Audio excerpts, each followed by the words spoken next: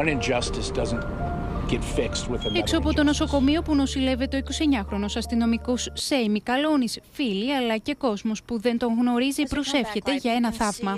My last words to him were to be safe. This is not what I would have expected for him.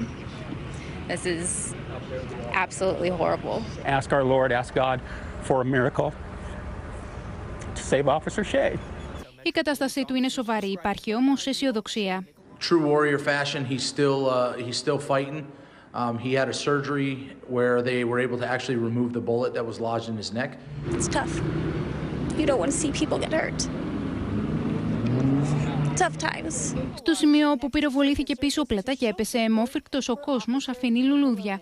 Όλοι μιλούν με τα καλύτερα λόγια για τον Σέι, που εδώ και τέσσερα χρόνια υπηρετεί το αστυνομικό σώμα. There's a lot of people that are really great cops that are lousy people. There's a lot of really nice people that are lousy cops.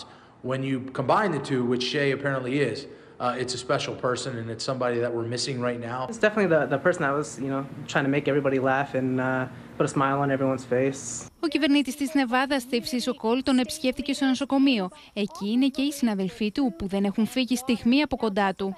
Shay's life matters.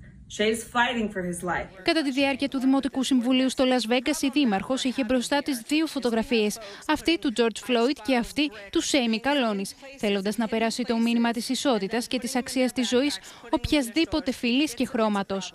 Για το δυσάρεστο περιστατικό, η Ελληνοαμερικανική Εκπαιδευτική Προοδευτική Οργάνωση ΑΧΕ πανήρτησε στο Facebook. Παρακαλούμε, προσευχηθείτε για τον αστυνομικό Σέιμι Καλόνης.